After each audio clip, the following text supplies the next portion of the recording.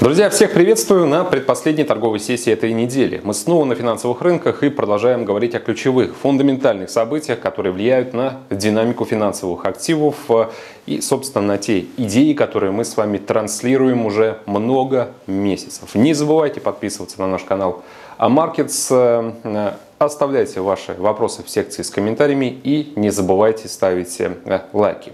Сегодняшний день. Напомню, что из-за Дня Благодарения в Штатах американские трейдеры со вчерашнего вечера уже отдыхают на длинных выходных, поэтому мы будем э, работать без этой трейдерской американской э, силы. Какой вывод стоит сделать? Торги будут низколиквидными, и многие считают, что в связи с этим сегодня и завтра мы вряд ли увидим каких-то интенсивных движений. Я разделяю совершенно другую точку зрения. Друзья, сейчас э, фон, с которым мы работаем, настолько непредсказуемый, что э, поступление даже какой-то маломальской новости на площадке может выступить самой настоящей бомбой для движения на финансовых рынках.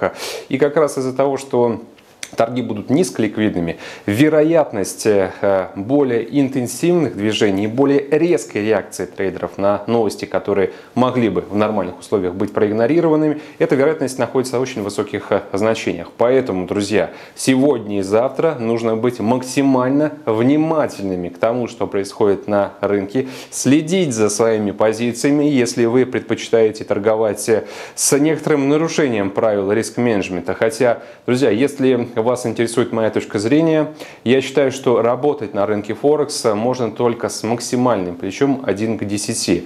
Э, оцените загрузку ваших депозитов. Если э, она у вас выше, вам нужно несколько пересмотреть свое отношение к рискам. Если отношение э, депозита к рабочему объему, вот это плечо, это термины, которые для вас являются новыми, ну, либо вы просто никогда не задумывались, друзья, обратитесь к персональным менеджерам компании Amarkets с вопросами о риск-менеджменте, о загрузке, о плечах, и вы получите самый развернутый и компетентный ответ. Я очень хочу, чтобы вы разбирались в этих важных, очень важных нюансах для работы на финансовых рынках. Ну что ж, вернемся к тому, что у нас есть в моменте. Последняя новость, которую я прочитал только что, Германия продлевает продлевает локдаун практически частичный до 20 октября. Я думаю, то, что многие страны ЕС поступят точно так же. Поэтому мы вновь возвращаемся к э, теме ковидной. Из-за э, того, что Многие э, страны сейчас вынуждены, ну практически все, усиливать ограничения, вводить все более жесткие контролирующие меры по социальному дистанцированию и так далее, вы э, должны, друзья, понимать то, что мировая экономика по-прежнему из-за вот этого глобального риска остается под серьезным колпаком негатива. Да, конечно, я мог бы сейчас э, поддаться всеобщему энтузиазму касательно вакцин от Pfizer, AstraZeneca, Moderna, но мы с вами вдоль и поперек уже проанализировали все эти темы, э, все эти сообщения, которые касаются грядущей, скорой, неизбежной вакцинации. Я надеюсь, вы все прекрасно понимаете, друзья, то, что даже при самом оптимистичном раскладе вакцина станет доступна для широких слоев населения не раньше середины 2021 года. При этом количество заболевших растет у нас каждый день. Я не хочу эм, портить настроение вам, друзья, но я, к сожалению, э, вот касательно ковида, разделяю крайне реалистичную позицию. Я э, сам нахожусь в одной из европейских стран и прекрасно понимаю, как э, эта ковидная тема, как коронавирус влияет на настроение, на потребительскую активность, э, на э, предприятие, на экономическую активность. И могу делать выводы о том, что мировая экономика и перспективы ее э, существенного замедления очень сильно недооцениваются. Давайте посмотрим на доллар. Друзья, я хочу вас э, поздравить всех, потому что мы продавили Уверен, с вашей поддержкой э, уровень 92. 91-92 сейчас э, в моменте котировки. И очевидно, что доллар будет э, двигаться дальше. Следующая поддержка 91.70. Ломать теперь нужно ее. Почему снижается доллар? Раньше я заходил на тему слабости доллара с учетом из позиции грядущих новых мер экономического стимулирования США. Повторяться сегодня не буду. Пересмотрите прошлый брифинг, как мы подвели к этой теме грядущее назначение Джанет Йеллен на пост э, главы э, Минфина. Сейчас вы должны понимать, что доллар скидывают, потому что есть э, ажиотажный спрос на рисковые инструменты из-за вакцин, из-за снижения политической неопределенности в США. Трамп хоть и не признал свое поражение, но все-таки отдал поручение начать процедуру передачи власти. Может быть, даже этот шаг, этот ход является кулуарным таким, неофициальным, но признанием поражения. Э, мы вчера следили за э, данными по штатам и за сегодняшнего дня благодарения. Разумеется, вся статистика э, по публикации замкнулась и собралась в рамках одной торговой сессии. Заказы на товары длительного пользования, личные доходы, личные расходы, заявки на пособие по безработице, темпы экономического роста. Друзья, целая куча макроэкономических данных и все тотально разочаровали. Особый акцент делаю на резкое падение личных доходов, на минус 0,7%. Заявки на пособие по безработице растут. 748 тысяч было, сейчас 778 тысяч. И новые уже восходящие тенденции. Это явный ответ э, на то, что ковид оказывает разрушающее воздействие на рынок труда. Потребительская активность тоже дышит наладом.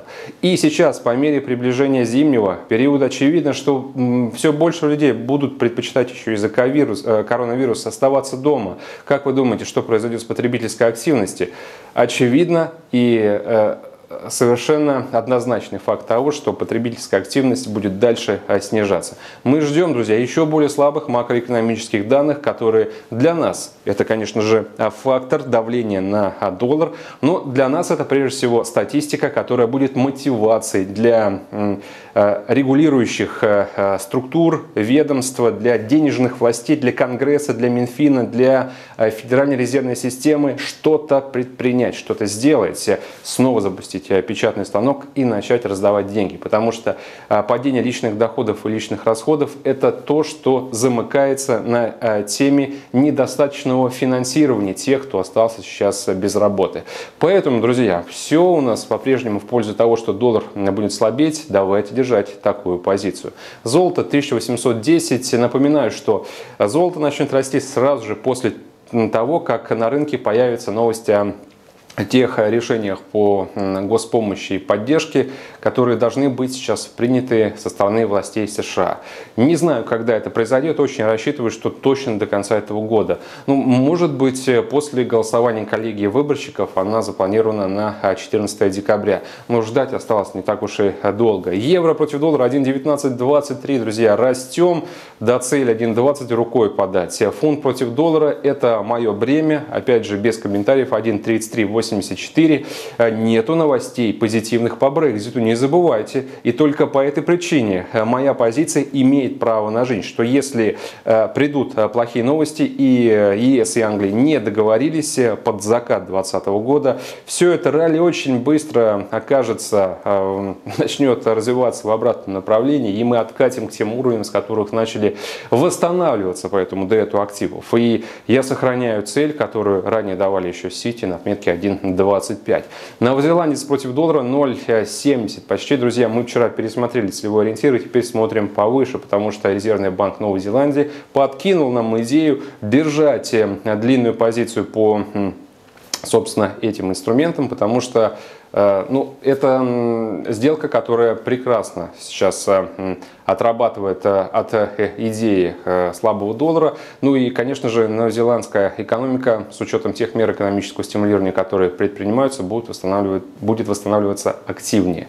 Биткоин 17 795, коррекция, друзья, она была, наверное, ожидаемая и прогнозируемая. Но я думаю, то, что все-таки локальный максимум мы еще увидим. Ранее на прошлых брифингах я разбирал детальную ситуацию с крипторынком, рассказывал, чем текущая ралли отличается от ралли 2017 года, можете пересмотреть. Австралиец против доллара держим здесь э, лонги 0.7356, ближайшая цель уже фактически сделана, но следующий целевой, целевой ориентир 0.74-0.75. Туда, друзья, и идем. На этом, собственно, все. Хорошей вам торговой сессии и до скорых встреч уже завтра. Всем пока.